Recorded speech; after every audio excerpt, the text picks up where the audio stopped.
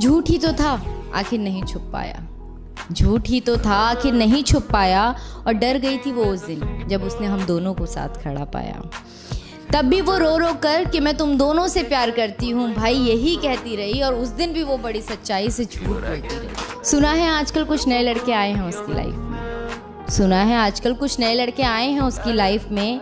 वैसे देखा तो मैंने भी था उसे किसी की बाइक में। मतलब हमारे बाद भी वो बड़ी शिद्दत से लड़कों को खोजती रही। और भाई सच में, बड़ी सच्चाई से वो हमसे झूठ